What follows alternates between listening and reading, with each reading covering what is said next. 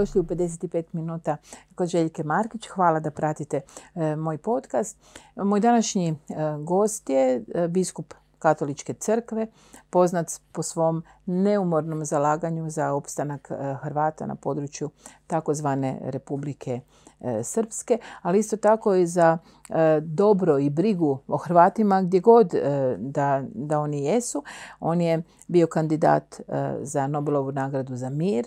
On je biskup Franjo Komarica. Oće biskupe, puno vam hvala da ste u svojoj vrlo popunjenom rasporedu našli vremena za naš razgovor. Zahvaljujem dragom Bogu, zahvaljujem i vama što sam ovdje među vama. S vama zajedno i pozdravljam sve vas koji nas gledate, koji nas želite čuti.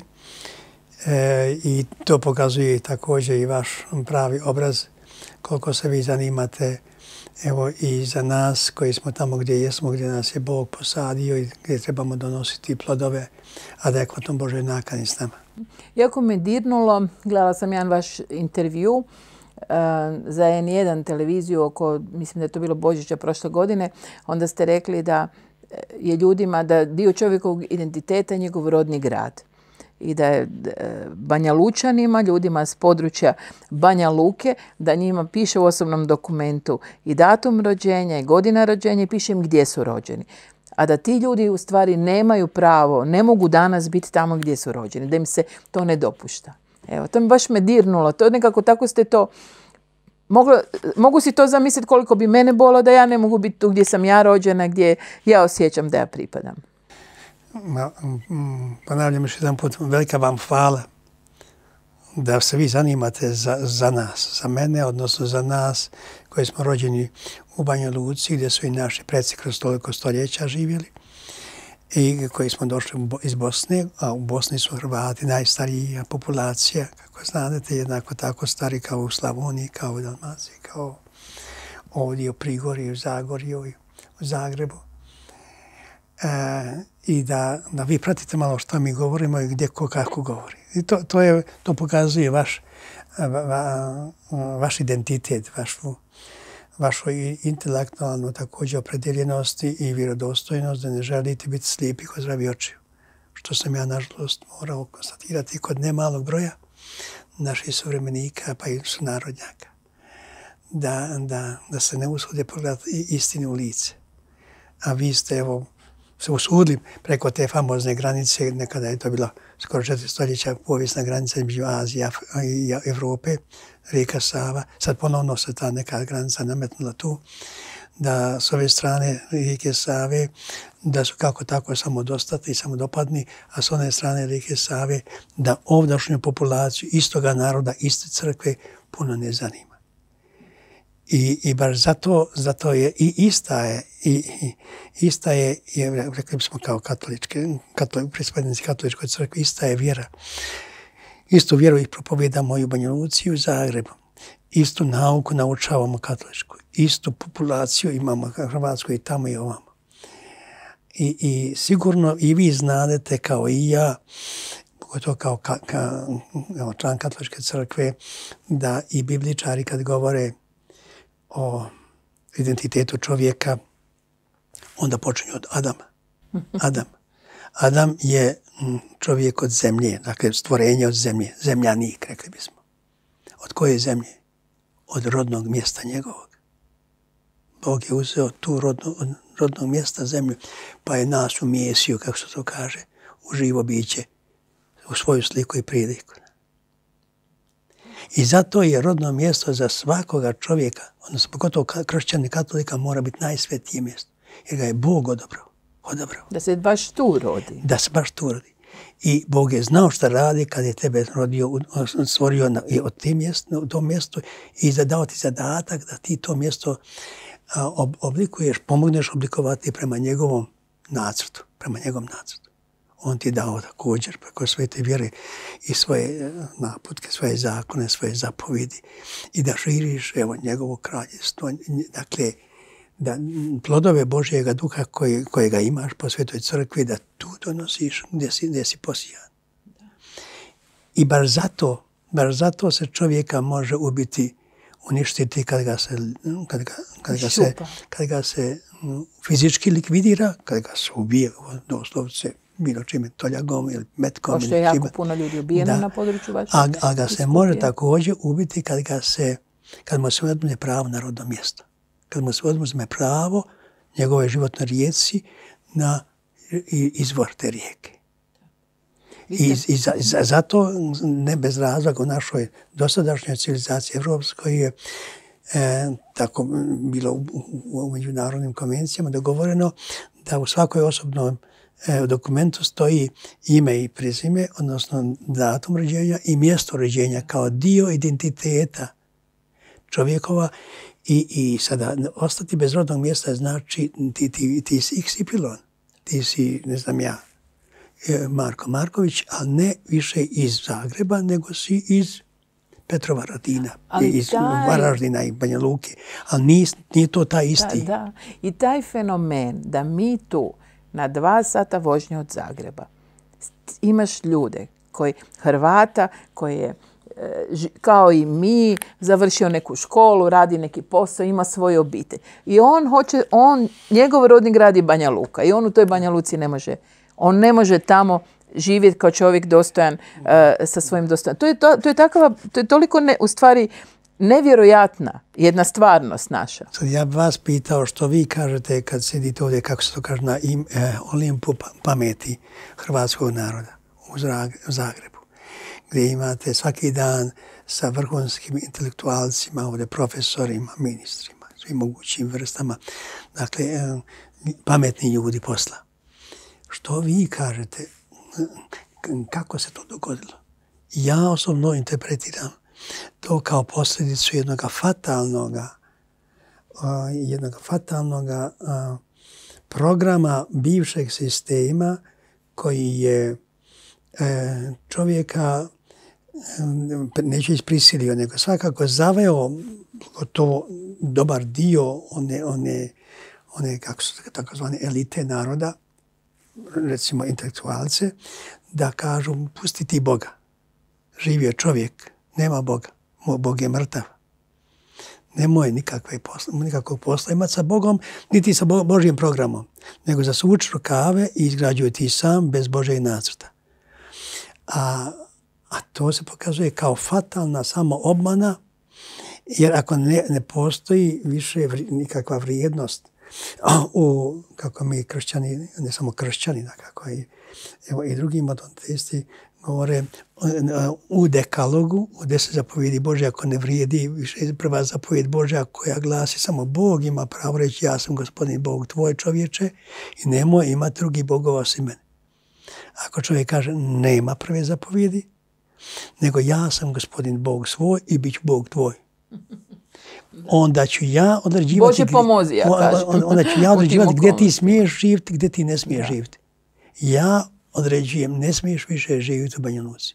A ja sam to slušao ne jedan put na svoje uši, gdje meni političari kažu i s ove i s one strane Savi, mi smo tako odlučili, mi smo se tako dogovorili.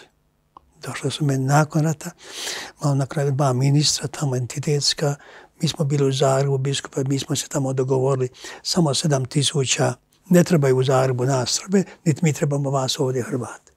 7000 Hrvata smije se vratiti ovamo, a sedam tisuća Srba, smije se vratiti u Zagreb. Kažem ja, e, svaka vam čast, vi heroji, a vi dekani fakulteta Banjučki. Pa gdje vam je mozak? Kako se tako poigravati? Vi ste 7000 a vaša supruga 7000 prva, vaše dijete 7000 drugo, treće, koliko već imate djece. Vi se smijete vratiti u Zagreb, a vaša supruga ne smije, jer vi određujete. Više kakva supruga, kakva djeca. Pa to je, to je nonsens, to, to je monstruozno. Pa naravno. Ljudi Boži, šta radite? Protiv ljudske šta i Božje logike. Ne samo to, ne samo to, nego... Jer vi što držite po do naše evropske civilizacije, po evropskoj civilizaciji je magna karta, odnosno povelja o ljudskim pravima, kako se on kaže, evo, no, no, no, novi dekalog. A u, u povelju o ljudskim pravima, koji vridi tako reći za cijeli svijet, svakome je čovjeku zagarantirano pravo na temenja ljudska prava o tome nema, nema nikakve diskusije, nego i se mora poštivati. Ko ne poštuje, on je zločinac. On, on, je, on je zavrijedio da bude kažnjen od međunarodnog suda i domaćeg i suda koji se mora oslanjati na, na međunarodni sud. Prema tome, otkud vama pravo da vi nekom oduzimate pravo na njegove imovine, na njegovu čačevinu, na njegove Naravno. korijene, na, na njegove uspomene, na njegovo djetinjstvo, na, na, na, Tako, na da njegovu ljubav, na njegovo da srce, dođe, na sve. da upravlja svojom otkud- imovinom. Otkud, otkud vama to pravo? Evo, a mi smo sebi uzeli pravo. Da. Dakle, pravo jačega primjenjujemo, a ne pravo, evo, me- međunarodnog prava. To je, nažalost, se kod nas dogodilo. I za vrijeme rata i nakon rata. Kad smo se svi ponadali nakon rata da će doći konačno pravna država i onda smo se evo 25 godina duboko, duboko razočarali u, u tome jer vidimo da međunarodna zajednica koja drži do, evo, do, Do svih tih da- ljudskih prava, i, i i pričaju o građanski njima. i tako dalje, mi nismo da te tu na međunarodnu zajednicu ljudi to sam ja pitao u Strasburu i u Briselu, javno pred parlamentom, zašto mi za vas nismo ljudi? Mi u Bosni i Hercegovini. Zašto ja kao katolik Hrvat iz Bosne nemam pravo na temeljanje ljudska prava? Ali ja to pitam ne samo u ime katolika Hrvata, nego u ime svakog obespravnog Naravno. čovjeka. I u Bosni i Hercegovini i izvan nje. Ali zašto, mi, ne, gdje, zašto, gdje su vam ljudi u Bosni i Hercegovini? Ljudi protjerani, nasilno, bez ikakvog povoda, razloga. I da se razumijemo, vi niste spomenuli, ali ja ću spomenuti. Vi govorite, dakle, da, da sam ja bio u ratu. Kod nas nije, Nije bio bilo rat. rata, tako je. Nije, tako je. za rat, odnosno rat rat Odnosno, je bila, bio je progon. dakle, a, ali, ali je bio rat je u zraku, ali mi nismo želi rat. Za rat morate imati najmanje dvije strane. A mi nismo mi smo od početka, prije početka rata, kad je bio kod vas počeo rat, mi smo tada sve poduzimali. Ne, nećemo oružje, nećemo rat, nemojte nam uvoziti rat ovamo. I to sam ja zajedno sa mojim susjedima, samo pravoslavnim episkopom i muslimanskim muftijom, također mi smo zajednički po- poslali z- z- z- zajedničan jedan, jedan, apel, pa drugi, pa treći, pa četiri apela smo, ne rata, nećemo rat, nećemo rat, štitite jedan drugog, ono, štitite sve susjede. Mi smo bili premali tamo glasići, dakle, koja je velika truba, ratna, nažalost, međunarodna, evo, potpuno htjela ut- ušutkati. Drugim riječima, samo da, da, da ponovimo ovo što ste vi rekli, na području e, današnje takozvane Republike Srpske, dakle tvorevine osvajačkog i etničkog čišćenja, e, su Srbi vlast preuzeli bez toga da su imali s druge strane vodili rat. Oni su ju u stvari mirno preuzeli i zatim počeli ubijati, progoniti, provoditi etničko čišćenje. Meni je došao general, on je logističar bio on generala Mladića, sa Pala, nenadano, nekad 93. godine, i samo da, vid, da vidim čovjeka koji nam je pobrkao račune. Ja sam čuo vama, biskupa, želio sam vidjeti toga čovjeka. Kako ste uspjeli do sad ostati ovdje? Vi ste nama onemogućili da mi provedemo akciju spaljena zemlja. Kakva spaljena zemlja? Mi smo dobili tri mjeseca od međunarodne zajednice da izvršimo evo, čišćenje ovdje sve. Da sve vas I da onda da se prizna a vi ste, stanje A stvari. vi ste u. Banja Luci ostali. Posavljac sva či- čista, pridorski kraj čist, samo bismo mi u Banja Luci ostali.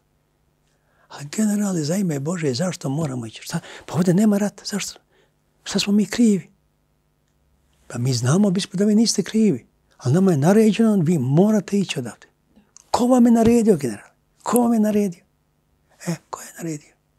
Da bi men došao na, na kraju rata engleski ambasador m, ni, ni, sjeo pita, nikako nam ne ide u glavu, zašto niste likvidirani? I nije bilo predviđeno da ostanete na životu. Kad sam ja pitao u Briselu, kad sam pitao London, kad sam pitao Washington, kad sam pitao New York, pa šta ste to radili s nama?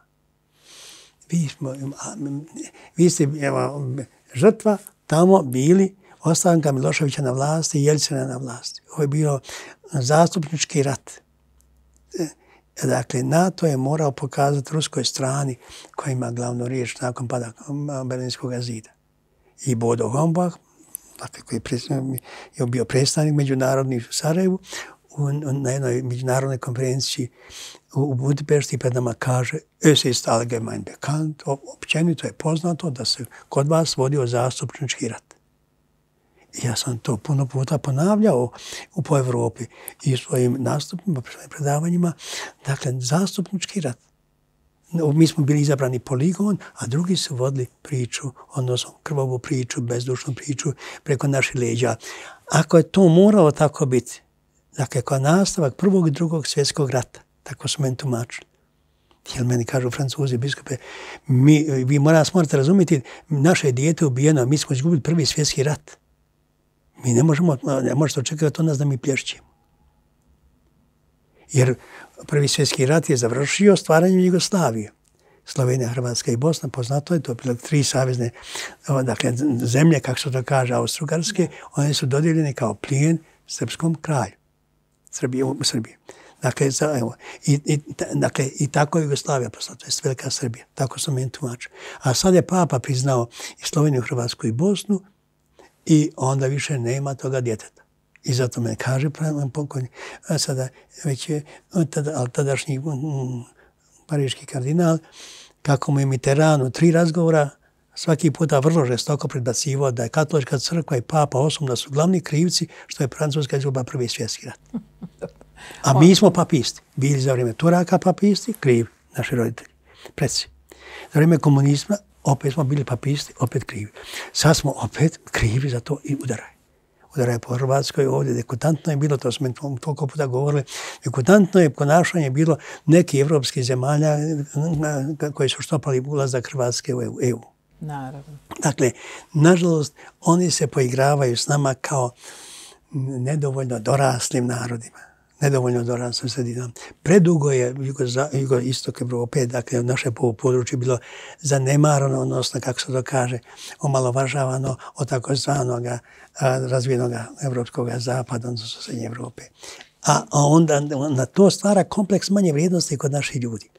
I mi, mi smo spremni da budemo pečalbari, da budemo bilo roblje, kako se to kaže, kod tuđinca, a nismo dovoljno, nemamo kralježnice dovoljno, nemamo dovoljno snage da iskrađujemo svoju domovinu koju nam je tako Bog prekrasno dao. I toliki nam stranci dođu, kaže, kako se sve vi Bogu molili biskupe da ovako imate krasnu zemlju za ime Božje. Pa to, to ljepota od, za, za oči. A, evo da ne kažem drugo. Pa I, i, i, I evo, Bog je stvorio prekrasnu zemlju, ali vrag je tu zemlju otrovao i truje već tolika stoljeća. A, a umjesto da, da se mi, pogotovo, ja bih rekao, onaj ko može više dati, a, a mislim da mi kršćani bismo morali više dati, ako smo ispunjeni Božim duhom, barem tako kažem, ako smo vjerujući, onda, ako se klanjamo isto, tako ići istom Bogu, onda kao vjerujući morali bismo se puno više ozbiljnije pozabaviti um, plodovima te naše vjere. A, a plod vjere mora biti ljubav, mora biti praštanje, mora biti uh, solidarnost, Ali mora biti zauzimanje. Pa, Ali sve u istinu. Naravski nas, nas tim, da ja, pošto, dakle kažem, da sam ja, istina je Božja, da ja tu moram biti i moram raditi konstruktivno. Istina je Božja da vi ste tu, da vas ja moram uvažavati, da vam moram pomagati. I da, da vas naučim da vi mene prihvaćate. Dakle, da ja pomognem koliko mogu, a i vas prihvatim i da vidim koliko vi imate vrijednosti, moj komšija, moj susjed, koliko, vi ima, koliko je Bog dao vama vrijednosti, pa da se ja mogu od vas koristiti. Ali to nije stanje stvari e, na cijelom Banja Lučkom prostoru. E, živjelo je oko 220 tisuća Hrvata na području bivše, sadašnje takozvane Republike Srpske. Danas ih ima oko 8 tisuća, dakle koliko je to 3%. To je broj jedan. Broj dva, zločini. Strašni zločini koji su se počinili. Neki dan sam se ponovno prisjetila e, mjesta Briševo gdje je 67 civila ubijeno, žena silovano pred, pred njihovim muževima po 15 članova obitelji ubijeno. Nitko nije odgovarao. Vi za neke svoje svećenike ne znate još uvijek gdje su im tijela rasuta. Dakle, s jedne strane, da, slažem se s vama, mi trebamo svoje srca držati čistima, opraštati, biti spremni živjeti, ali što kada je s druge strane netko ko ne želi? Tko ne želi? Ko ne, I onim Hrvatima koji se žele vratiti ne dopuštaju da se vrate. Dakle, papa je govorio već ovdje, sveti papa, 94. godine. Zagrebu, on je vas imenovao u, u, za, za da, vi ste, on je vas posvetio za pomoćnog biskupa da, i, za, i za biskupa, Ivan Pavao II. Da, imenuje. Dakle, on je tada ovdje govorio i govorio nam je u Sarajevu 97. godine. Uvijek iznova je poticao. Dakle, baš je da praštate, da radite na pomirenju. Ja se sjećam 93. godina, ja sam uspio doći u Rim, zvao papa, pa smo se tamo okupili drugi biskupi i on men kaže u razgovoru, znam o vama, čuo sam, čujem vijesti, zanima me svaki dan da im dobivam vijesti. I ja vama i vašim svećenicima i vašim vjernicima zafaljujem u ime crkve Ja dobro znam kako je teško stupiti u proces pomirenja. Mi smo Poljaci trebali 20 godina da sa našim susjedima započnemo proces pomirenja. Poznato ono pismo. Naravno. Nakon 65. godine, nakon koncila, da su poljski i njemački biskupi zajedno napravili pa je bila halabuka na poljske biskupe od strane tadašnjeg komunističkog režima. Kaže papa, zašto smo mi trebali 20 godina, vi niste trebali ni 20 dana. Rat još traje, a vi propovedate i prakticirate praštanje i pomirenje. Ja vas blagosivujem, blagosivujem sve svećenike i vjernike, nastavite dalje. Ne samo da radite dobro za svoju zemlju, nego za cijelu crku. Dajte krasan primjer, evo nastavite dalje. I on ovdje kaže, dajte presjecite tu u, u, u, u vojni Začarani krug dakle, mržnje. Dakle, evo, mržnja i osveta, mržnja i osveta, dakle, zlo i uzrećenje zla. Ne, neko mora praštati. Dakle, e, ja, ja sam, to je moja bila, neću reći životna filozofija, nego ja sam puno tu puta govorio i uvjeren sam, dakle, da, da dođe do jednog pravi, pravoga, poželjnoga, trajnog mira, odnosno međusobnog, što kaže, zajedničkog života i suradnje među ljudima zavađenima, treba, treba neko započeti praštati. Žrtva, žrtva je ta koja mora prva ponuditi ruku praštanja.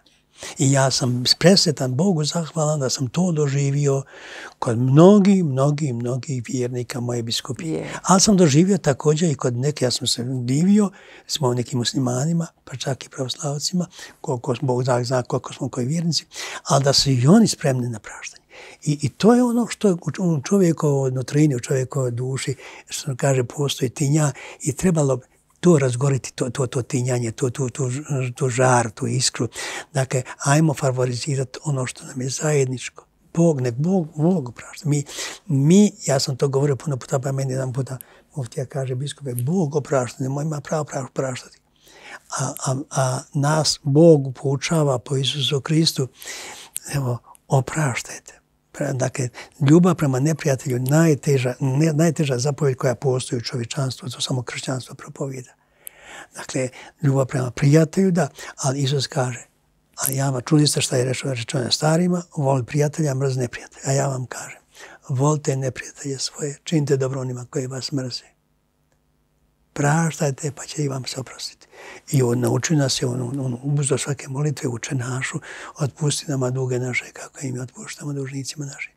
Zato sam ja rekao engleskom poslaniku, kad me pitao, izdajte nam vašu strategiju. Koja je strategija? Ja baš je bila da ste ostali na životu. Sam ja rekao, kakvu strategiju za ime Bože? Pa ja sam kršćan, ja sam katolik. Ja sam u katoličkoj zajednici biskup. Pa imam, ja imam strategiju evanđelje. Ja, ne treba meni nikakva druga strategija. Bog mene duže. Meni je jako žao da vi tako loše mislite o našim susjedima Srbima. Zašto bi oni mene trebali ubiti kad oni dobro znaju da ja njih ne mrzim, nego da ih volim i da ih pomažem. I to pomažem kako god mogu. I, i, i, i riječima, i dijelima, i, i karitasom, ne znam, i hranom, i odjećom, i obućom, i lijekovima. U mojoj kući sam otvorio polikliniku, pa tamo liječim, bez sve bez razloga. Dakle, imali smo divnu prigodu pokazati na, na, na, u praksi šta znači biti kršćan i katolik vjerodostojan. Ne samo na riječima, nego u praksi. I to su ljudi, pustimo riječi, nego pokažemo na djelima. Ona su, ona su, ona su kao ona zraka sunca, ona nemilosrdna zraka sunca za debeli led. Ona udara na led kako god led debeo, on se ne može oduprijeti za Ali kako vi pomirujete vi istovremeno, s jedne strane, neumorno u svim ovim okolnostima, svih tih prestrašnih zločina i trpljenja Hrvata, dakle iz jednog e, mirnog preuzimanja vlasti od strane Srba, su je praktički 100 i 200 e, tisuća ljudi, 215 tisuća ljudi protjerano, pobijeno, mučeno, danas im se ne daje pravo na njihovu imovinu. Ok, kako vi to, istinu o tome, pomirujete sa ovim, e, sa ovim e, opraštanjem i mirom u duši i ljubavlju prema, prema neprijatelju? Jer u konačnici i pravda je cilj i uspostavljanje pravde je cilj. A pravda traži da se ti ljudi, da se mrtvi ovih... Mislim, ja kad sam čitala za Briševo, mislim, pa to je prestrašno što je tamo napravljeno. To je takav zločin, to je takva mržnja, zbiljam sotonska, ne znam kako bi to drugačije e, opisala. Mučenje ljudi, ubijanje djece, bez ikakvog ikakvog, mislim nikad nema razloga, ali to je u miru, u miru dođeš negdje i to počneš raditi ljudima, da bi ih prestrašio i sve druge natjerao da odu. Dakle, i nitko nije odgovarao. Kako to, e, kako vi to, vi kako to pomirujete? Dakle, pomir, pa pomirujem, normalno se to pomiruje. Bez istine i bez pravde ne možete pristupiti ni praštanju, ni pomirenju da bi ono ima donijelo rezultata. Jer vi morate, ako želite opraštati, morate znati što trebate opraštati. Što to treba? Što treba, treba oprostiti? I kome treba oprostiti? Kome treba Dakle, treba najprije istinu ustanoviti. Da se dogo, da, da netko učinio nešto što je nedopustivo i pred Božim, pred Božim očima i pred, I pred ljudskim, međunarodnim pra, pravom. Naravno. Dakle, prema tome, ali samo istina i samo pravda nisu dovoljni, nisu dovoljni da se uspostavi jedan trajan, poželjan mir među ljudima, među zovađenom braćom, ako hoćete, i, i, i, sestrama, nego mora biti spremnost također, na, ne samo na uvažavanje, nego da te opraštam. Evo, i, a to može samo duhovno jak čovjek. A ovo što spominjete, ja sam doživio, doista sam doživio, vi, me, vi ćete se me možda smijati ili ćete se, šta ja znam, odmahom glavo, imate pravo na to, ali ja, to je moje duboko vjerenje, može misliti kako, kako hoće. Ali ja sam doista pred sobom doživio utjelovljenog džavla. Utjelovljenog džavla. To nije bio čovjek. Čovjek naravski je bio čovjekova, čovjekovi lik. A toliko iznakažen, toliko da, da sam ja, doista sam se neobičajeno osjećao u svojoj koži, stresao, nečastivije ne to je doista bio. I, i, I zato molite se Bogu da vi ne upanete u, u, u sotonske mreže. Ako neko sumnja da postoji đavo, ja mu nikad ne želio da, da, da živi ono što ne doživi, odnosno da, da doživi ono što jedan čovjek taj koji upo, kako je radi, kako se ponašao. I, i onaj, dakle, ako išta ima da, da đavo učinio, odnosno je smislio dobro, dobro za sebe, to je rat. rat. rat. A, a rat, u ratu on, on ne bira ko je, ko je ko, ko je Srbin, ko je Hrvat, ko je Rus, ko je Amerikanac, ko je, ko je vjernik, ko je nevjernik, nego će on nas svakoga navaljivati. U, užas, to je strašna ta pandemija. Sad tu može se, samo onaj koji je dobro u, u sebi prožet, što on kaže, duhovnim sadržajem, on može se nekako dohrbati.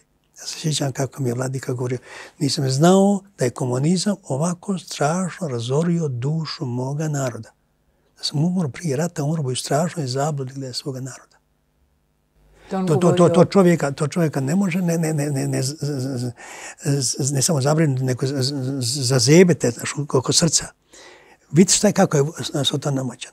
I, i, i, i što, što mene čudi, ne treba se čuditi ti, i tim jadnim, da se tako izrazim, nesretnicima, destruktivcima.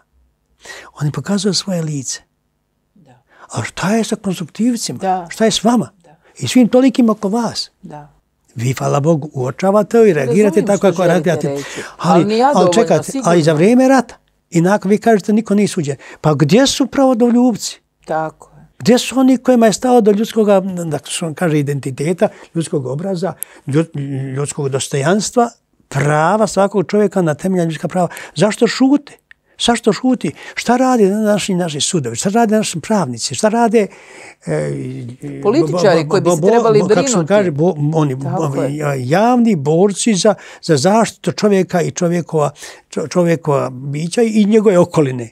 Pa mi živimo u zatrovane okoline, daleko zatrovanije nego što je pandemija ova i sve druge pandemije. Pa mi smo ment, mentalno, pandemija nas je ovaj, i otrovala i, i srce i mozak. To mene zabrinjava. Prema tome, dogodilo se užasno. Dakle, kao posljedica jednog sistematskog, što kaže, uh, uništavanja čovjeka iznutra. I pale su granice izvana tome čovjeku. I on je ostao postao toliko nesiguran, toliko uplašen, toliko da je oko sebe udarao lijevo i desno, evo, najrođenije svoje ubijao je i žrtvovao. A kamo li neće onoga koje, a, a lako se takim, takve ljude izmanipulira i nagovori, natreba mu se strah i on je, on je toliko nesiguran, on je toliko očajan, on, on, on, on je pao, njemu pao nam mrak na oči i neka druga sila iz njega govori. To su meni toliko puta govorili za vrijeme rata jadni nesretnici koji su klali, ubijali, pali, svašta nešto. Nisam ja to radio, biskup, nisam, to neka druga sila u meni radila. Evo, to je to. Prema tome, gdje su molitelji? Gdje su oni koji su, kako su na stare naš učili, da molimo za obraćanje griješnika. Bože, spas narod svoj, baš sve. A tu, tu smo mi pozvani kao kršćani koji dobro znamo za zastupničku molitu. Isus za sve nas zastupa nebeskim ocem. A mi zajedno, on je naša glava, a mi zajedno s njim zastupamo. Zato smo mi ovaj, evo, i, i molili cijelo vrijeme rata, imali smo posebne molite koje sam ja ljudima da ne kažem propisao, da zamolio, molite kod kuće, molite crkve, gdje god možete naći se naći, jer ste nama od početka rušili crkve, bez nikakvog pa rata, bez ničega. Što vam ruš, rušite crkve, ljudi? E, mi znamo, da, tako smo odgovarali ti koji su rušili. Da vi katolici sad puno više držite do svojih bogomolja, do svojih crkava, nego mi, mi uopće ne marimo za. I crkva je vaše, srce vašeg zajedništva. Ako vam razbijemo srce, uništimo srce, razbićemo vaše zajedništvo, mi morate otići. Dakle, i moji su svećenici koji su ubijeni tamo, to su doista istinski svjedoci, oni su mučenici jednog od temeljnih ljudskih prava, prava na, na dom, na dom, na domovinu, na rodno mjesto. Svi su oni, svi su oni nisu ostaviti Oni su bili ovdje, preko Karitas, oni su dolazili, mi smo dobili propust da dođemo. I neko je od njih, jedan Filip, recimo, koji je ubijen pa spaljen, on je najmanje 50 konvoja iz Zagreba dovezu za vrata pomoći. To su e, stotine i stotine tona hranima, tisuće, ne samo stotine. I on je govorio, biskup Mrzda, ako njemu kolegi, deset dana prije nego što je bio spaljen, kad mu je on pisao, e, Filipa, nemoj ići, kaže, pa to, tamo je moje radno mjesto, ne samo radno mjesto, tamo ja... ja to je moj, da, narod, moja župa, da, moje... Ja, ja ne mogu ostaviti svoje, svoje tamo vjernike. Mi tamo činimo dobro ljudima, mi samo da ne prašamo, nego činimo dobro onima kojim da treba. Prema tome, naš je to posao. Isusa razapinju, pa će, ako, ako treba nas. Ali zanimljivo je, svi su drugi svećenici čekali, čekali da budu isto tako ubijeni. Niko nije, on nije dezertirao, niko, nije pobjegao. Pa to, je, to, je, to ne može čovjek naučiti, ne može čovjek ne. sam svojim snagom, to ti ne može dar. Ako Bog da, daje takav dar, onda nemojmo ismijavati Boga. Nemojmo reći Bog lažov, Bog nije men dao. I ljudi su do kraja ostajali tamo. I onda je došao, mene su zatvorili kućni pritvor, kako znate, i onda su, došao je pogrom i to, aj, miče sve. Nema više, hoćeš, nećeš, nego moraš. Moraš. Evo, nasilno, još si morao platiti svoj izgon. I onda kasnije, kakve farse međunarodne zajednice, me kaže međunarodni predstavnici, pa vi ste jedva čekali da vas, da vas istiraju. Vi ste sami htjeli otići. Kakav je to cinizam? Ali vidite, ali gdje su moji političari? Da. To je, meni pitaju od Berlina, do, do Brisela, do Pariza, do Londona, do Washingtona. Pa biskupe, mi nikad nismo čuli nekog hrvatskog političara da nam govori kao vi. Da, dakle, da, da je ugrožen jedan, da, da je, ne, ne, ne, ne, da je ugrožen jedan narod. Da, mi ne znamo da vi tam postojite. Ne, ne, ne, nema vas tamo. Kako nema nas? Kako nas nema? Pa to je to. Pa kako to? Pa zar ti političari ne mare za vas? Evo, nažalost ne mare. Nažalost. Evo, to je za mene problem. Daleko. Kakav je to narod? Kakav je to narod imbecilan, to se kaže kod nas, kod nas se tamo kaže u Afrazijskoj uniji mutav. mutav. Pa, pa, pa mi, mi ne možemo artikulirati svoje dostojanstvo, svoje ime i prezime, svoje pravo na, na, na, na vlastiti identitet, na vlastito pravo na prava na svoju čačevinu, na svoj... Svakome normalnom čovjeku njegov rodni zavičaj svetinja. A ispada ovdje je nametnuto nešto našem hrvatskom narodu. Cijela posavina pa bogoprazna. Prazna. Pa nemoguće. A ljudi su toliko ginuli i bili ubijani tamo i, i nakon drugog svjetskog rata nisu htjeli otići pa su se to pijeli. I sada moja posavina pala šaptom, što kaže kao i nekada, nekada Bosna. Kako to? A on ma tu nema, nema samo preko Save, nema ni kilometar. I Evropa, slobodna Evropa da. i slobodna Hrvatska. I, i sada, je Hrvatska i Europska unija, da. Ponavljam, dakle, ne, očito da, da, da nismo svi isti ni u hrvatskom narodu, ni među katolicima, ni među evropljanima, nego kao što prije ovaj, za vrijeme komunizma neki su bili ravnopravni, a neki ravnopravni. Ravnopravni, da. To je, da, da, dakle, evo, tako i ovdje. Neki imaju pravo na svoj zavičaj, vi u Zagrebu imate pravo na svoj zavičaj, ovdje Zagrebčani, vi tamo u Zagrebu imate pravo, a, a mi, mi tamo nemamo u svom, u svom zavičaju. Kako to? U čemu ste vi toliko baš bolji od nas? Jeste, puno, puno imate. Sve ja znam. I, i, i, i, i, meda, i, meda i, sladara, ali kako god, ne, nemojmo tako. Znaš, ja bih rekao, e, i Bog nas duži i naša kultura duha i naša opredeljenost da pomažemo onima koji ne mogu sami koji su u kakvom god zaostatku, što se nam kaže, kojima su osjećene ruke i noge, ajmo toga invalida ponijeti. Ali ako je nekome slomljena ruka i noga, ajmo sanirati tu ruku kako treba. To smo mi očekivali. Dakle, teški, preteški je stradalnik bio Bosna i Hercegovina 95. godine ja sam upozoravao, mi smo biskupi prije parafiranja Detonskog sporazuma, famoznog, dakle, 8.12. 14. se parafira 12. mjeseca, a mi 8. smo uputili pismo javnosti, odnosno potpisnicima Detonskog sporazuma. A, imali smo onaj tekst koji smo imali do dana današnjeg, nemamo originala, dakle, da. čila država nema, nema, to, to je apsurd svojevrstan, ali kako prioritet.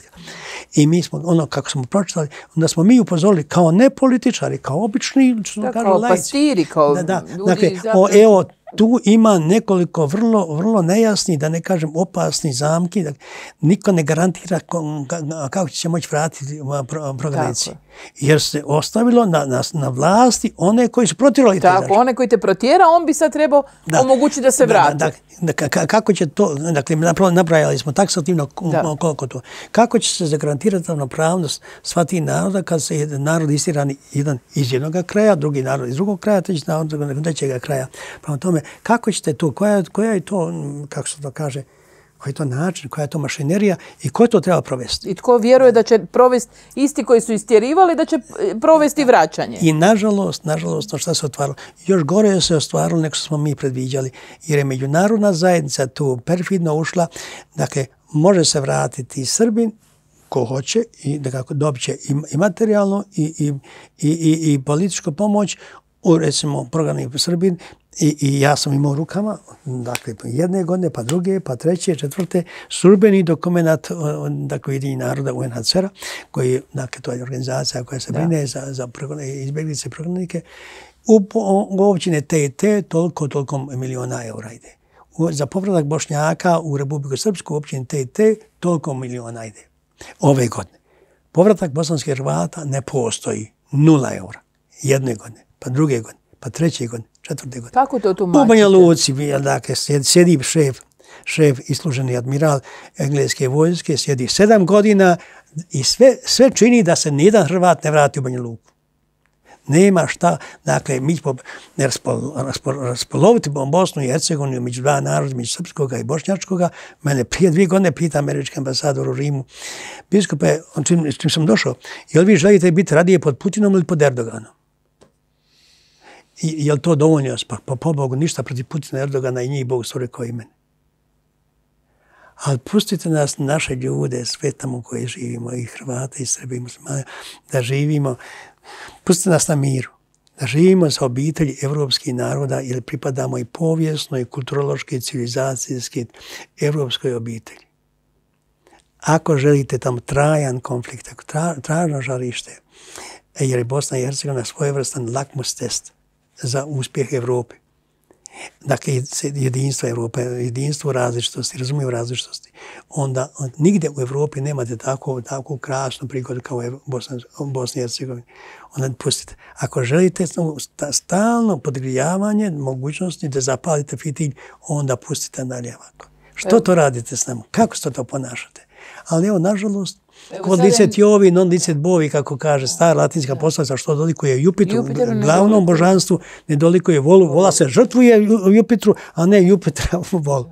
Evo, što dolikuje velikim, ne dolikuje malim. Ali ajmo mi sami pokazati, ako smo mali, u, Bo, u Božim očima nismo mali, ne moramo biti. Bog nam je dao darove određene, puno možda kvalitetnije i veće nego ne, mnogima takozvanim velikima koji su se u svojoj samodopadnosti i samodostatnosti toliko napuhali da, da će sami se urušiti. To, mi, to ja vidim, ja sam vrlo često među takozvanim velikima po Evropi. Ste, evo, nedavno bili u Njemačkoj, yes, tjedan dana yes, posjećivali yes, ste svoje, da. uh, svoje I, vjernike. I, i, i, i naše, dakle, vjernike, ali i, i, i domaći. I domaće, I, i domaći, ne samo Njemci, bili su tamo i drugi predstavnici drugih naroda i, i, i dramatično se odvija u Evropi situacija negativno po Evropljane dramatično se odriče. A ja se sjećam kako mi je kardinal istiže, dakle od 94. godine, čekajući papu na, na, na, na ovaj hipodromu, govorio, kad smo malo razgovarali o našoj situaciji, ja očekujem strašnu katastrofu nad Evropom. Mi smo se igrali božanstva. Mi smo prkosili Bogu i smijavali Boga. Mi smo vas ostali na cjedilu, mi smo vas zgazili. Mi smo se strašno griješili o vas u Bosni i Hercegovini. Bog se ne da ismijavati. Evo, ja to očekujem. Pokojom u duši, plemento, on je bio kao vrsta proroka. Mi, ja sam doživljavam ovi, evo, skoro 30 godina da, da, da se to ostvaruje što je on govorio. Ste, e... I zato sam ja zabrinut za generaciju koja stasa. Kakvu Evropu mi ostavljamo ovoj generaciji? Ne samo u Bosni, Bosni, Hrvatskoj i diljem pa Evrope. Evo, oni su zbunjeni. Ja sam sada imao, evo prije tjedan dana bio je kongres mladi evo, i Njemačke i Evrope i, i ja sam njima imao jedno uvodno predavanje o našoj situaciji, tamo pogotovo u ovom velikom Evropskom centru kojega smo osnovali prošle godine, Evropskom centru za, za pomirenje i mir i međunarodnu međuvjersku suradnju Marija Zvijeza u toj najvećoj nekada opatiji trapističkoj Marija Zvijeza u Banja Luci gdje je bilo 16, 16 zemalja, bili su tamo trapisti. 200 i koliko je 50 bilo trapista svoje vremeno po, početkom ovaj, prošlog stoljeća. I to je bila Evropska unija davno prije Evropske unije, ali konstruktivna, koja je bila široka srca, dalekovina i koji su i, i dan i noć i molitvom i radom pokazivali domaćem stanovništvu da, da ih vole, da ih cijene, da njima žele, da ih želi kultivirati, da ih civilizirati, da ih želi opismeniti, da ih želi liječiti, da im želi pokazati da od svoje ruku ovdje žive dostojno čovjeka. Gdje je ta Evropa danas? Gdje je ta solidarnost Evrope, evropskog čovjeka danas? Ja sam to morao pitati po Evropi, ne samo ovaj, nego uvijek iznava. Dajte ljudi, nemoguće da ste vi stotnu godina nakon toga, ili 150 godina kako su nam trapisti došli, da ste vi puno gori nego tadašnja generacija ljudi koji su bili u Evropi, gdje su bile daleko manje veze dakle, između da, države i države, naroda i naroda i ne znam, kraja kraja. Danas ste vi tako često ovdje na, na, na odmoru vašom, na urlabu, kako se to kaže, i vidite ovdje da su i ovdje ljudi imaju dvije noge, dvije ruke, dva oka, ne znam ja, i da imaju glavu i ne znam da, da pa da su normalni ovdje ljudi i da, da vam mogu vam uslužiti, da naši toliki ljudi rade kod vas tamo i dobro rade i vrlo su cijenjeni. Pa šta je to, po Bogu, gdje vam je svoj dan da kažem, ajmo tamo u zaostalu ovaj kraj, ajmo napraviti, napraviti pravnu državu. Pa da, pa to Ja sam, kažem, jesu mene pitali, i puno puta, puno puta kad dolaze delegacije, mene uvijek iz nove strane, šta vi zapravo biskupe trebate? Hajde, recite. Preko, treba mi kruha i ruha, i mlijeka i lijeka. Trebam, trebam, evo, sve. Ali ne trebam ništa od toga. Ako? I, i, i, i mačka, i pas, i krava trebaju nešto jest i popiti nekog, nekog, neki krov nad glavom, iako je bolesno neko, nekog veterinara. A mi mislimo još uvijek o sebi da smo mi ljudi. Mi smo ljudi. Nismo toka, nismo živina. Nismo životinje obično. Životinje je Bog svoje također i treba životinje također čuvati, čuvati. Ali mi smo ljudi, mi imamo pravo na ono pravo koje nam je Bog dao, a vi nemate pravo uzeti. Vrate nam pravo na temelje ljudska prava, ne trebamo ništa od vas. Mi ćemo sebi zaraditi kruh. Sve Mi ćemo sebi isto tako stvar... Samo im pusti da živim, da radim, da... Da, da, da ja mogu biti svoj sa svojim na svome. Tako. I zašto mi to ne zagarantiraš? Gdje je men pravo da ja ponovno se vratim? Zašto, zašto nema jednog naroda? Jednog naroda u sred Evrope nema ga kod kuće. Zašto ga nema? Na drugom mjestu nema drugog naroda. Ka, gdje, gdje su ti vodeći naši ljudi, intelektualci i političari, a koji ste i, pre, i predstavnici i vjerski, odnosno crkav? Koji stalno pa, o tome pa to govore. Da. Pa zar, zar ne možemo mi od najodlučnije uzeti zajednički se pojeti? Ne možemo ovako trpiti u Evropi. Ovo ne valja za Evropu. Ne valja za mene. Ako ja neću pomoći njemu, ali od, od, tamo njegova nevolja će mene ugroziti ovam. E pa vidite šta, šta imamo i sada isto tako. Pa baš me, ono, vidjela sam da ste vi, kada je krenula kriza i prije korone, ova sa imigrantima, da ste otišli u Bihać, da ste pogledali kako su ti ljudi, ali ne da ste ostali na površini, da to kao što je veliki dio iskorištava dnevno politički i te jadne ljude, već ste ušli u samu bit. Pa zašto je to tamo? Zašto on ovdje dolazi? Zašto je on ovdje kod mene sad u Bihaću? Zašto on mora otići svoje zemlje? Što se tamo zbiva u njegovoj zemlji? Hvala vam da to protiv čestitam, doista, ali evo, ja sam smatrao to svojom dužnošću i biskupe potaknuti da našoj biskupoj konferenciji kažu, pa kaže, oni su biskupi rekli, pa niko o tome ne govori, to je posao države, pa, pa imamo državu kako imamo, a, a idem ja državi pa reći, I oni su stali, niko, niko, niko nama ništa ne kaže, mi ne možemo sami to ništa, to je međunarodni naprijed. Pa nije problem, evo, evo ti čovjeka u dvorištu, evo, evo pa čovjeka pred tobom, stoji ti, pa kako ćeš pomoći tome glavnom čovjeku? A šta je?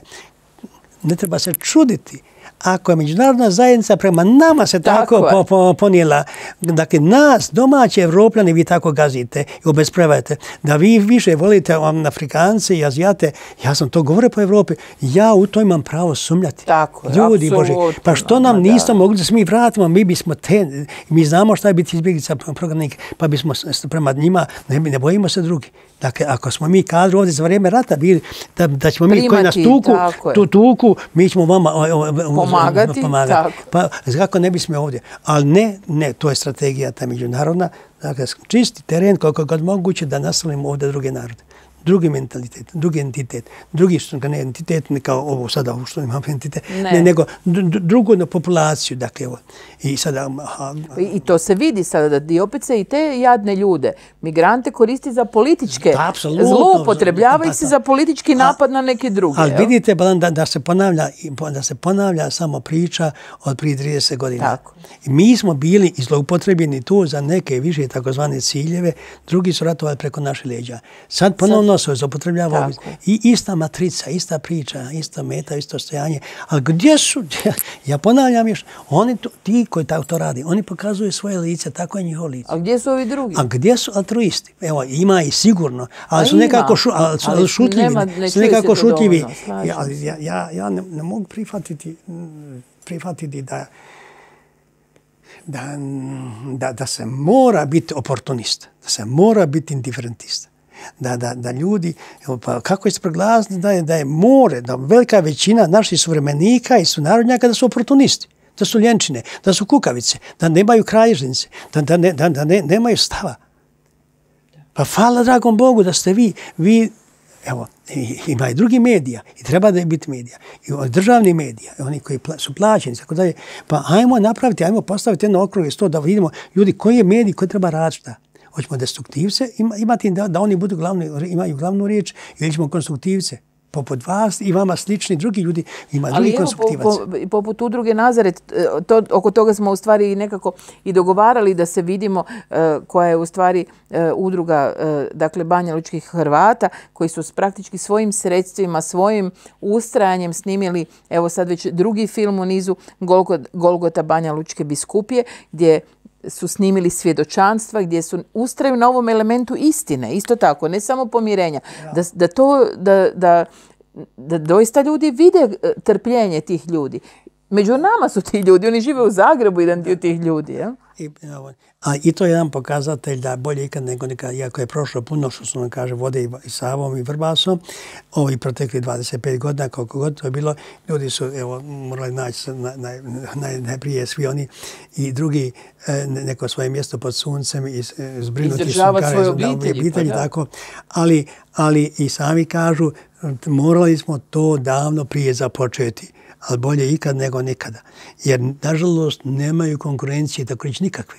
Niko to, pa do sada pa nije radio, ali al, al, al, toliki su zato plaćeni. Pa to sam htjela reći, pa koliko mi poreza plaćamo za ministarstvo kulture, koliko se novaca er, baca na različite filmove koji se snimaju, umobolne, glupe filmove. Ja kad gledam neke od tih scenarija, ne možeš vjerovat da se u zadnjih 25 godina u Hrvatskoj šta se sve nije snimalo. A, ti nisi, a mi nemamo snimljene filmove koji nam govore o našem narodu, o našem narodu koji živi tu iza ugla od nas. Pa ja, ja, apsolutno imate pravo tako kad postavite to pitanje. Ja sam više puta se pitao je li moguće da su naši vodeći ljudi, kako se to kaže, i u politici, i u strategiji, i, i u medijima, i u prosvjeti, i u kulturi, i u svemu, da su toliko prisiljeni da budu samo obični mali pijuni neki drugi centara moći koji im kažu toliko smiješ i tako smiješ. A, a nikako ovo nemoj dirati, ne smiješ dirati slučajno. Ne smiješ uopće dirati da, da, da bi tražio, tražio i istražio istinu i prikazao istinu. Istina nije pop, ni popularna ni poželjna. Ne. Nego za, za, za muti, za magli i onda drži i odgajaj novu, novu generaciju, nove naraštaje, odgajaj u, da su, u, u, u, neznanju, u prostoru, u neznanju, odnosno neispravnom znanju. Tako.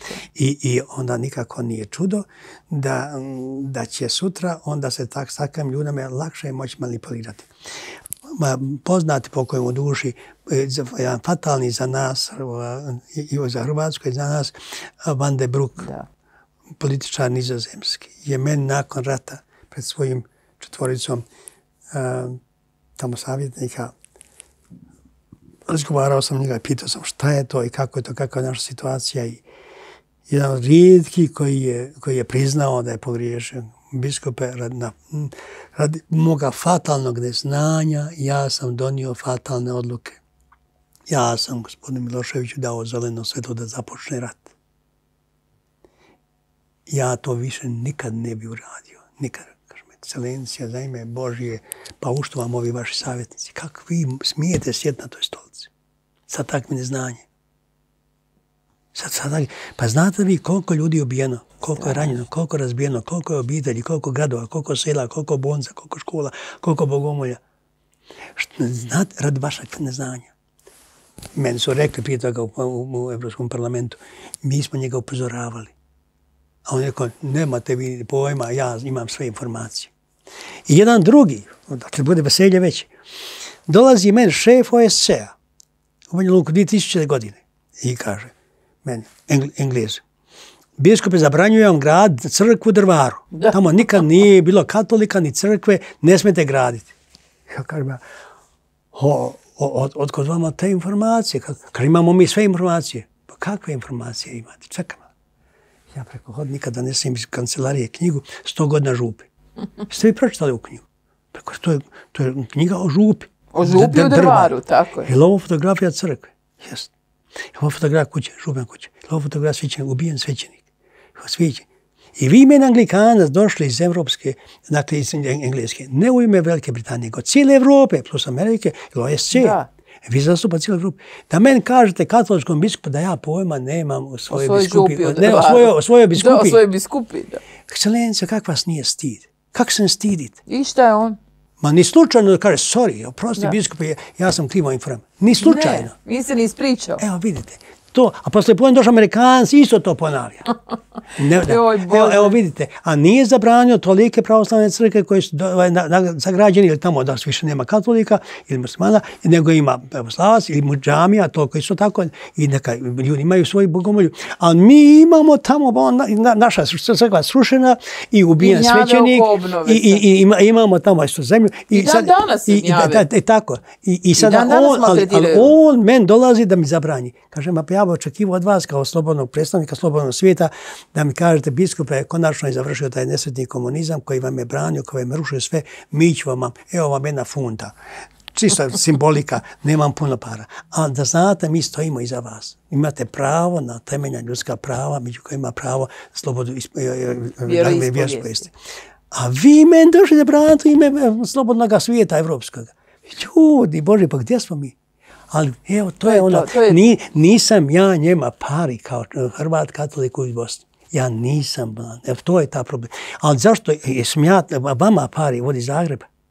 Zašto ja nisam, zašto sam ja tako često, to je zašto su Hrvati katolici a, a, napušteni od svojih vlastitih tako političara. To slažem se. Zašto? Mislim, zašto? Pa, mislim, to ovo mi bi se trebalo ne, stalno govoriti. Mislim. Ne, ne, ali, ali evo, na, nažalost je tako. Nažalost je to. I ako nismo mi govorili, ako nismo biskupi, mi smo nebrojno puta, zajedno, pojedinačno, još puno više, a zajedno smo i za vrijeme rata, na, kako god se bilo teško doći, mi smo se oglašavali. I ovdje u Zagrebu i međunarodnoj zajednici i da kako i pred svetom stolicom. I, i, dak, I mi smo bili stalno u sinhronizaciji sa papom, sadašnjim svetim papom i kasnije sa Benediktom XVI. također, koji je uvijek iznao poticao evo, da je zabrinut zašto nema u Posavini povratka katolika, zašto nema u Banjaloškom kraju povratka katolika. Dakle, ne možemo dozvoliti, kaže papa, ja osnivam biskupije gdje nikad nije bilo, a, pred nosom Rima da ja dozvolim da tri biskupije u Bosni nestanu. Ne dolazi u obzir. To je papin stav. Koliko Zagreb moj, hrvatski, koji se poziva na papu, kojemu je papa sigurno i tekako pomogao da bude ovo što jest, koliko on uvažava papine riječi i prijašnjeg sadašnjeg papa da i katolička crkva treba moći ostati, opstati i to ne pužući pod, pod zemljom kao, kao ka, ka, kaže krtice i kaže i miševi, nego uspra, uspravno i, i, i doprinoseći jednom zdravom razvoju te zemlje kao što je to rada cijelo vrijeme svoje prošlosti uvijek iznava dakle, regenerirala se i, ne, ne uništava, nego, nego, nego... Gradila. Vi ste u principu i cijelo vrijeme, doista i vi osobno kao biskup, kao glavni pastir e, biskupije Banja Lučke i, i svećenici vaši, redovnici, doista cijelo vrijeme ste bili onaj faktor koji je pozivao na mir, na pomagao svima. Vi ste osnovali 86. mislim, Caritas kao pomoćni biskup još Caritas je cijeli rat i do dana današnjeg sve pomagao. Ni škola ste otvorili. Sada e, imate ovaj projekt važan oko e, trapističkog samostana. Dakle, što još, što, što, što se još uopće može napraviti Ni, Nismo ni za leka završili sve. Bog nam daje još sutrašnji dan, ako daje, a da će. Ovako, Bog da, da uradimo i sutra nešto lijepo za Boga, kako kaže sveta, sveta Teresa ovaj, ovaj, iz Kalkute. Učinimo svaki dan nešto lijepo za Boga. Mi imamo divnu bolju šansu tamo. Ja bih rekao bolju nego vi ovdje Zagrebčani. Da. Dakle, da pokažemo našim susjedima pravo lice katoličke crkve i hrvatskog naroda. I tu šansu ja se trudim da ne propustim. Bez ikakve samohvale, bez ikakvog nadimanja, bez ikakvog oholog, pa nego, dakle, puno više dijelima nego riječima. E, evo, mi pokazujemo kako izgleda katolička crkva, socijalna, katolička, socijalna nauka katoličke crkve i, da, i da pomažemo svima. Jer mi vjerujemo u Boga, stvoritelja svega vidljivog i nevidljivog i korone stvoritelja. Dakle, ne, ne, ne, COVID-a. Dakle, ne, ne samo moji komšija i Srba i ateista i agnostika i muslimana, sve je Bog stvorio, isti Bog. Ja vjerujem toga Boga. I, I zato se koji puta, ne, ne malo, a žao mi je, priznam, začudim kad čujem od Zagrebčana, ne znam ja koga, pa što ti tamo? Što ti tamo gradiš, ne znam ja. I da, starački dom, smisla, starački da. dom, djeliče vrtić, kakav centar, kakav, što ćeš tamo? Viči bolje iz Bosne. Nema pravo Isus biti stanarsko pravo, nema pravo Isus imati u, Bos, u Banju Luci. Kažu meni katolici moji Hrvati. Neki. O, neki. Ne, da kažem neki. Ovdje, mislim, kako god to bi, kako to, jedan i, I to mi je, i, i, i, ne, nije boli, nego mi žao, žao toga čovjeka, kakav je to tvoj katolicizam, kako si ti katolik, kako ti svaćaš svoj, što se znači, kako što kaže katolič zajedno, što znači da tvoje... Da si ti katolik, katoličanstvo. Šta, šta ti to sadrži kad ti kaže katolik, aj pričaj mi, šta to znači?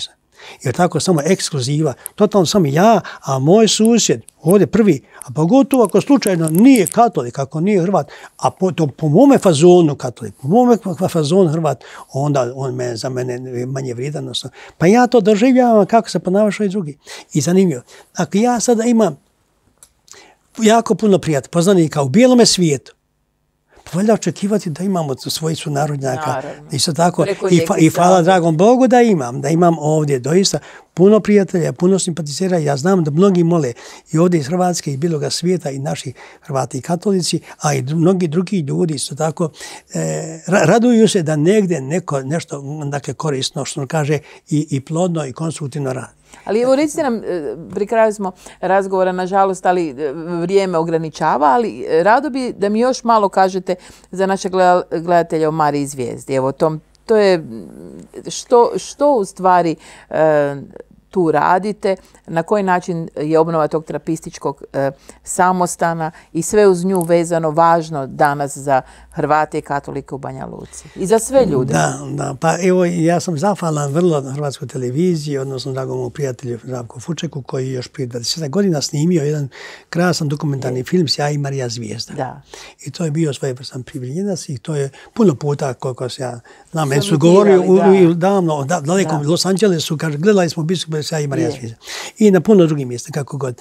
Dakle, Marija Zvijezda, ta psihička apatija, kako rekao, jedna, jedna, u jednom vrijeme najveća na svijetu, e, ona je jedinstvena pojava na jugoistoku Europe, a rijetka i u Europi tu, tu Božjim čudom preko toga velikog vizionara Franca Fanera, Franje Franjera, Austrijanca iz Vorarlberga, koji je bio disciplinski svećenik, pa onda je ošao u Trapiste, pa je došao na Banja Luku, jer mu nisu u Hrvatskoj dozvolili da osnuje samostan, tada u, u sastavu Austro-Ugarske, niti u Štajerskoj, onda smo rekli, ajde u Tursku.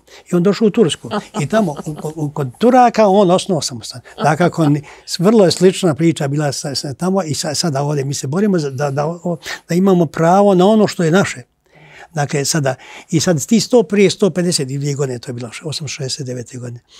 I, i e, tijekom kasnijih desetljeća, pod konac stoljeća, 19. i početno 20. stoljeća, e, ta, ta se apatija razvijala, razvijala u jedan, ne samo duhovni veliki centar, e, nego i odgojno-obrazovni centar, nego i industrijsko-zanatsko-poljoprivredni kombinat izuzetno jako su tamo imali mogućnost, su, imali su za, zanatske, sve moguće zanate, tamo su preko, preko pet, pet tisuća djece su oni školovali, su da budu, budu kape, da. budu majstori, tu koji završili kod trapista, to je bilo jedno nešto. Znalo dakle, se da dobro zna prvu, svoj zanat. Prvu bolnicu oni su tamo, dakle, u Bosni. Prvu veliku visoku školu su na početkom stoljeća tamo osnovali i puno toga drugog.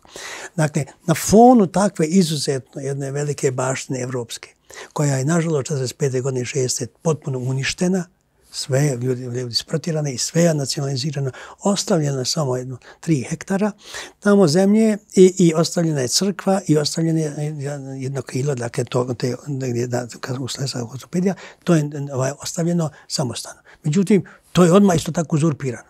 I oteto zapravo, ostala samo crkva, crkva, crkva i groblje, odnosno još imamo možda 800 metara kvadratnih. Dakle, na tome, na zemlji, zemlji što se, ona, kako se ono kaže, evo, duralo nešto do, do evo, prije, prije početka, dakle, on do 2003. godine. Tada je red, kako, kad su, nije više bilo trojica, neko samo dvojica su ostali, jedan umro je, jedan pat zadnjih, on je ostalo do nakon rata, 7-8 je bilo, a onda su stari već pomrli a, u nekoliko godina i onda red odlučuje da se zatvori taj samostan. Ja nisam dozvolio ja nisam, ne znam kako da on je gurali vrata, zatvori, ja sam gurao nogu. Ubacio nogu unutra. i, I molio sam, preklinjao sam, nemojte zatvarati, ne, dajte nam, pozajmite neke patre iz drugih samostan neko ovdje.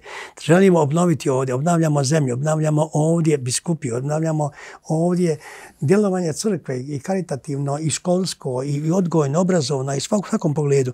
Da, trebamo pomoć, trebamo pomoć. Onda to, evo, razumijevali smo, razumijevali godinama, godinama, dok nije došlo biskupa što je previše, previše.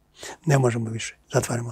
Evo, preuzmite ovo i nek to bude opet u, u, u crkve, odnosno crkva neka radi preko te, bašne što ima tamo, što je ostalo, da, i ono što, što bude pripadalo, radite. I onda sam ja u, konzultirajući se u Rimu, konzultirajući se također sa ljudima i po Evropi, i da kako i sa domaćima, odnosno sa biskupima, krenuli smo tamo, šta ćemo sad, počeli smo sa najpotrebnijim trebamo, kako rekao, i, uho, i kruha i ruha tamo, i mlijeka i lijek.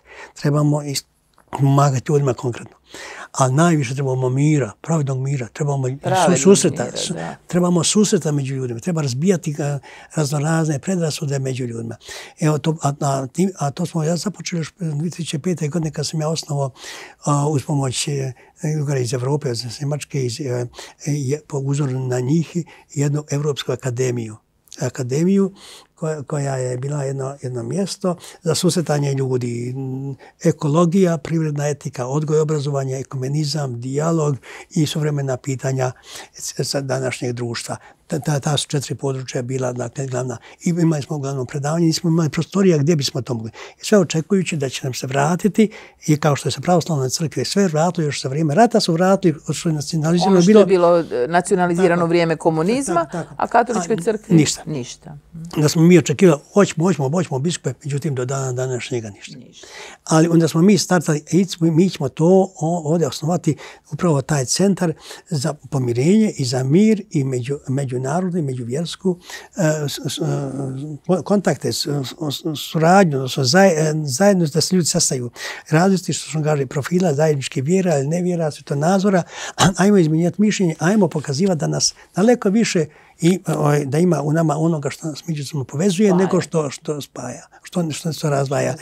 I to je naišlo neobičajno pogotovo u Evropi kod pozitivnih što on kaže onih što on kaže oni koji znači uli uši da, da, na eho dakle do, doista ja sam se vrlo ugodno iznadio iako je došla pandemija u to vrijeme a izabrali smo 195. rođendan toga velikog vizionara da nekako bude usto kad bi trebalo a, a, a, pandemija a ipak mi je uspjelo e, ovaj jedan međunarodni kuratorij od 20 ljudi iz sedam zemalja vrlo poznati imena što iz politike što iz prosvete iz kulture iz crkvenog ni redova i tako dalje oformiti tamo zajedno ko predsjednik je zajedno sa mnom bivši njemački predsjednik Christian Wolf i, i onda smo počeli kako se ono kaže i da samo dakle samo i dopisivanje i informirati se što i kako.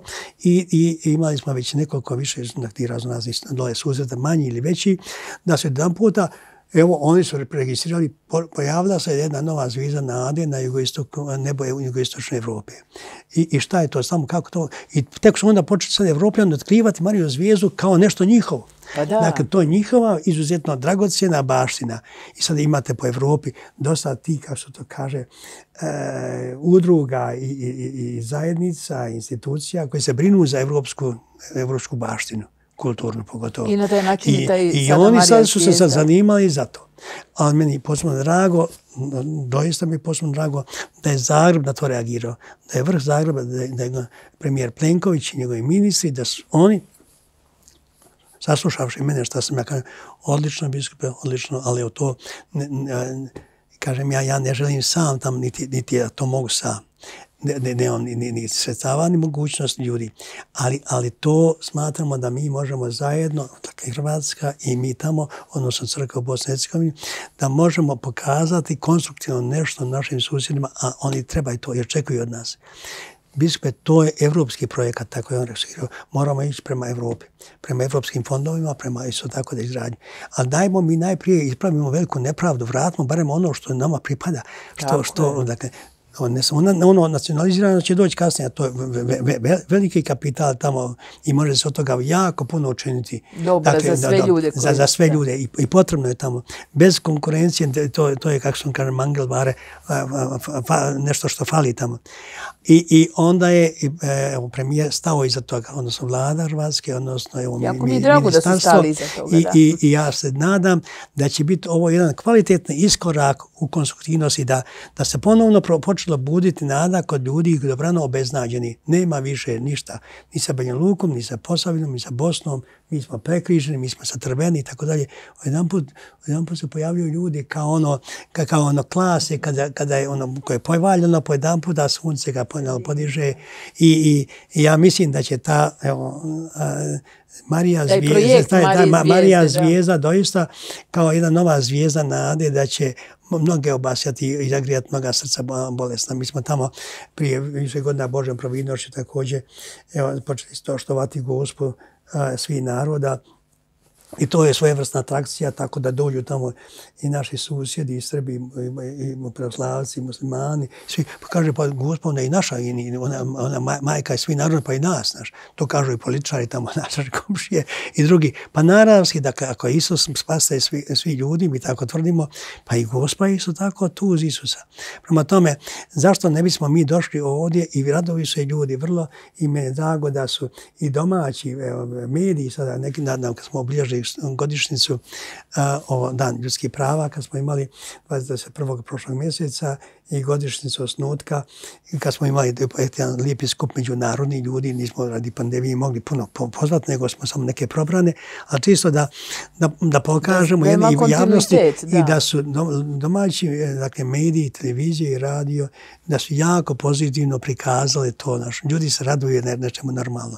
Previše ove, ovoga smoga, ovoga zagušljivoga i maglovitog pred očima naše generacije, ljudi su obezglavljeni, obeznađeni, ljudi, ljudima je svega dosta, pogotovo ove, ovog budalesanja, da se tako izrazim, naših političara vajni, koji, koji samo na, na te iste gusle stalno guslaju i, i, i, i straše ljude ljudi bježe, kod god će, neću više da te slušam i ići u pečelbare kod god hoću, ali neću to, da me zaglupljuješ uvijek izdava.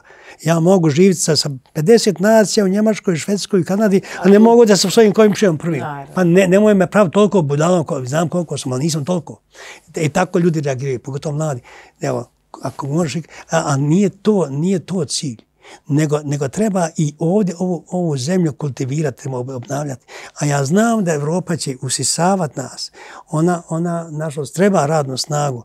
Ali, ali ko će, kažem, ovdje izgrađivati zemlju? Treba, dakle, osokoliti i, ja, i sad to idemo, ovo je jedan veliki zaokret u, u, u, i u glavama i u srcima neki utjecajni evropljana koji kažu ne, ne samo da ćemo mi uvlačiti vaše ljude, nego idemo mi sada kontra idemo mi pokazati tamo da mi tamo vama dolazimo. Da mi tamo želimo, evo tamo ovaj, onu našu, kako sam kaže, dragocenu baštinu, koja je za nas tekako vrijedna da je ponovno oživimo. Da je ponovno regeneriramo, odnosno stavimo van na raspolaganje.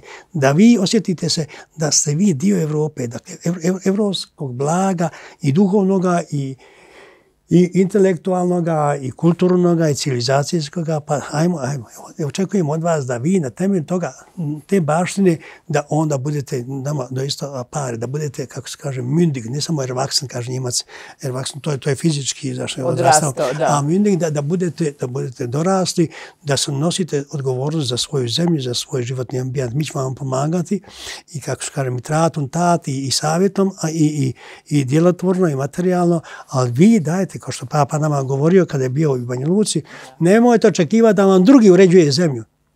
Vi imate toliko blaga, plemenitosti kod sebe i zajedništva, dajete za sušte rukavate, pa radite ovdje, bez kompleksa manje vrijednosti. A ja sam svjedok, nažalost, da je naš narod, pogotovo hrvatskom katoličkom narodu, nabijen kompleks manje vrijednosti tamo u Bosni. Komu je to uspio? Dragi Bog, sigurno nije to radio nego domaći neki čovjek, odnosno ili strani, koji je rekao, ne, moraš, ne, ne smiješ voliti svoj rodni kraj. Pa, ko ne voli svoj rodni kraj, onda on, poka, on, on njega se sa, on je sažaljivanja, pa da, njega da. se sažaljiva, pa on jedan ne voli sebe, kako će voliti mene? Prema tome, oprez prema njemu. Znaš. Prema tome, tuđe poštuje da svoga se ne odriči, kaže stara naša poslovica, narodna mudrost. A to je to, to Isus kaže, dakle, voli bližnjega svoga kao sebe samog. Ako ti sam sebe ne voliš, onda, onda naš, prema tome, ako nema, nemaš u sebi ljubavi, kako ti onda drugoga, ne, nešto drugoga voli. Kako ćeš mu dati ono što nemaš? I, I zato, ako samo sebe voliš, možeš biti egoista. A Isus upozorava, nemoj biti egoista, nego daj biti altruista. A počne najprije osnovno, znati sebe cijeniti, sebe u sebi cijeniti. Znati Boži dar u sebi cijeniti, tamo gdje te Bog posadio, tamo rasti. I, i, I zato smo mi startali tamo, kako rekao, i svojim školama. I, o, dakle, u centrima ima, imamo jako puno problema i poteškoća, pogotovo financijske naravi. Ja sam tu dobrano sa trven, evo, jer, jer, me, jer me i tu politika ganja i, i koči. I kaže, ne smiješ ti, previše naše djece, muslimanske ili srpske djece u tvojoj školi. Što će oni tamo? Pa ne gonim ja tu djecu, ljudi, Bože, šta radite? Vi, vi, vi, vi, vi, oni su htjeli da, da, oni, on, da, prema tome, ali zašto ta djeca nemaju pravo, ne, e, ne smiju oni biti odgajani u katoličkoj školi? Pa šta ta katolička škola, vi provjeravate sve, sve šta radimo mi napako? E, ali to je to, kad je neko uzak, kad je on neko samo ovako, onda imate, ajmo proširivati malo po malo te vidike. I ti ljudi koji su izašli iz naše škola, oni su, oni su vrlo, vrlo kadri, vrlo, vrlo viđeni, vrlo, vrlo uspješni u bijelom svijetu. Oni završavaju fakultete i, i postižu veke akademske što kaže, titule po, po bijelom svijetu. Dakle, oni su dobri, sigurno korisni građani toliki drugih zemalja Znači da, da nešto vrijedimo, ali, ali mi se tamo zlopatimo strašno. Ja, moja biskupija, kako znate, sa trvena financijski, odnosno e, materijalno, totalno jer 95% je, kako znate, srušena Pa da. i uništena. I, Crkve, i, i, i, i što se tiče i, broja vjernika i što se tiče i, crkava i svega ostaloga. I to trebalo sve najprije obnavljati. Mi smo najprije startali obnavljati ljudima kuće. Preko 4000 kuća smo mi obnavljali jer poli- politika to nije radila. Jedan političar to nije radio. Jedna, jedna, jedna općina nije radila. Ni entitet, ni niko, ni međunarodna zajednica. Nego mi smo to radili, crkva to radila. Ne, ne da se to s time hvalim, ali ne, treba crkva su, reći, cr- crkva su čekale na, na red, najprije ajmo graditi ljudima kuće. Pa ćemo se moliti mi na groblju, mi ćemo se moliti u, ne znam ja, u, u, u nekoj drvenoj kapeli, ali evo, ali, ali ćemo se moliti. A da ljudi mogu Ali da pomogne. Evo, to, ovo, to je ljubav na dijelu, što se ono kaže. I, i, i sad smo pristupili da, da obnovo, ali, ne- ali nemamo, nema doista financijski, ne, nemamo, tako reći, od čega živiti tamo. Nego samo ako, ako ne prosimo. Ali Bog se pro, po- pobrine, Bog se proviđa nekaj. Pa se nađe, kako neće Janko i Marko, hoće u Guso i Jasu. Ne, ne, Bog će nekog naći. Ali, ali mi želimo dati šansu i našem najbližem, našem sunarodnjaku i našem katoliku e, da, da pokaže svoje pravo lice, da budemo solidarni međusobno. Pa znate kako kaže e, Sveti Pavao, ako smo mi svi jedno tijelo, kaže, ako jedan je, je, dio tijela, ud, ako je on slab, ako je nemoćan, onda se solidariziraju drugi udovi pa pomognu tome tijelu. Mali prst na, nog, na nozi opasnost da otpane, onda se solidarizira cijeli organizam i šalje krv tamo da, da, da ne otpane. Evo tako, a mi smo doživljavali ovdje da se najmanje pomagalo ljudima koji su tamo željeli vratiti, koji su želi ostati tamo, dogajati Da, tamo koji dvoje žele biti- Umjesto, da se tamo posebno ide s jakim špricama i materijalnim i političkim i pravnim i svim, svim, svim. Dakle, nažalost, evo, proglasilo se, nas, nas oni ne Odustaje zanimaju. Ne, ne, toga, ne, zanimaju. Političari Da. kažu naši, ne zanimaju nas ti Hrvati. To nisu Hrvati za nas. Pa jesu ljudi, po Bogu, vi ne smiješ se biti samo za Hrvata, nego se moraš biti sa svakog čovjeka ako s političara. Ako ne znaš se ba politikom, pa nemoj po Bogu. A ja sam doživio da čini se, pa za, svako, za svaki zanat, i za kuvara, i za, i za krojača, i za dimnjačara, moraš izvući zanat. Samo za političara ne moraš ništa. I onda ti tamo dođe čovjek koji doista i gleda samo izgleda isključivo na svoj vlastiti džep, više ili manje, i pro forma on će zna lijepo pričati, pa će onda bacati prašnu uče i uvijek, za, za, što on kaže, za, zaglupljuje, zavodi ljude i ljudi nažalost povjeravaju. Ljudi su nam apolitični, velika većina ljudi, obični su svijeta. da, dakle, prosvjedu, ne samo katolici, nego i drugi, oni uvijek iznova biraju ne, nekoga, znaju da će ih prevariti, da su prevarili, da su iznevjerili, iznevjerili i, ili nikoga ne biraju. Onda dođu oni... Onda oni, opet dođu oni koji, da, da. Dakle, evo to je to. Kako odgo- odgojiti te ljude da budu, da budu politički zreli?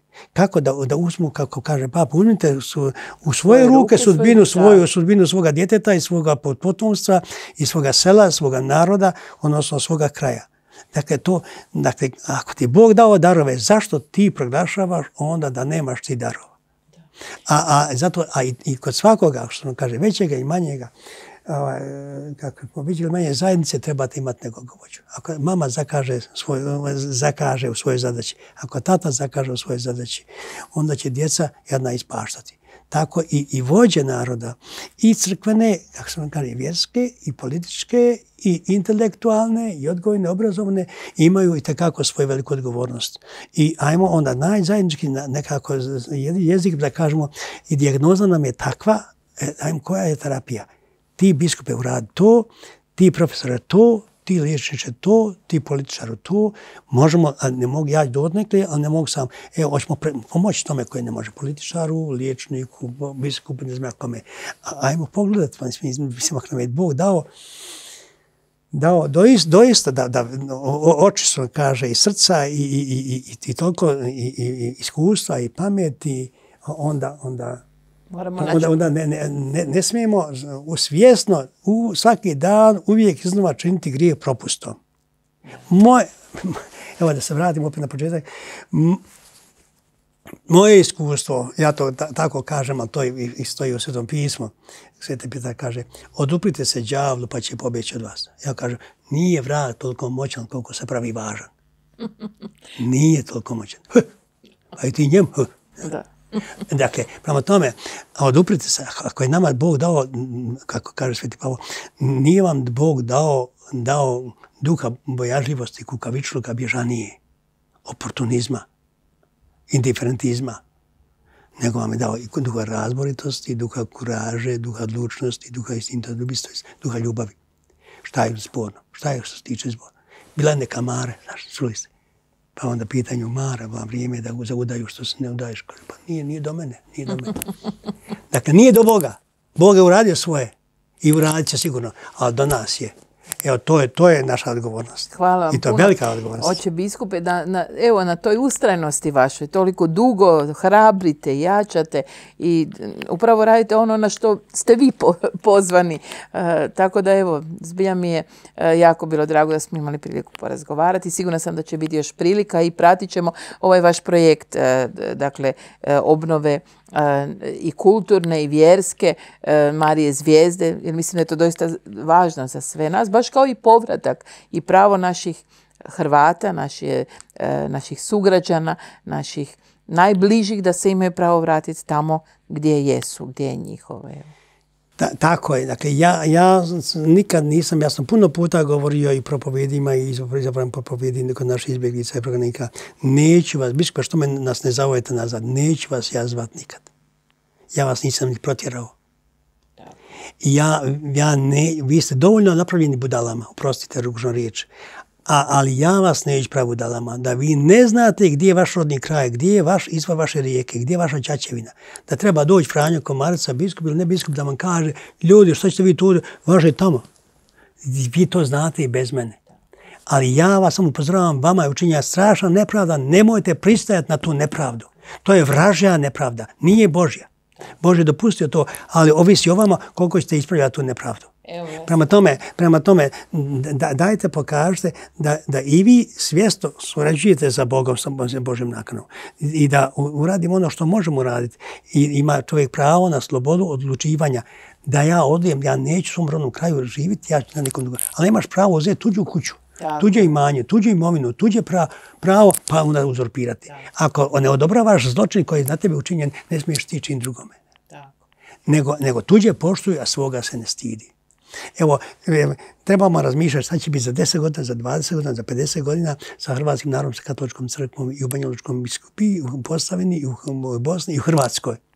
Ako mi ne budemo držali do sebe, onda, onda će evo, Bog, Bog sigurno nije stvorio ni Banjoločki kraj, ni Posavinu, ni Bosnu, samo za Gavrano i za Lisce. Sigurno nije. Nego i za ljude. Tako. I zato onda vodimo računa da smo odgovorni prema Bogu. E, hvala, hvala vam od svega srca hvala za vaše vama. zanimanje za nas. Hvala vam, oče biskupe. Vama zahvaljujem, dragi gledatelji, na vašoj pozornosti i pozdravljam vas do sljedećeg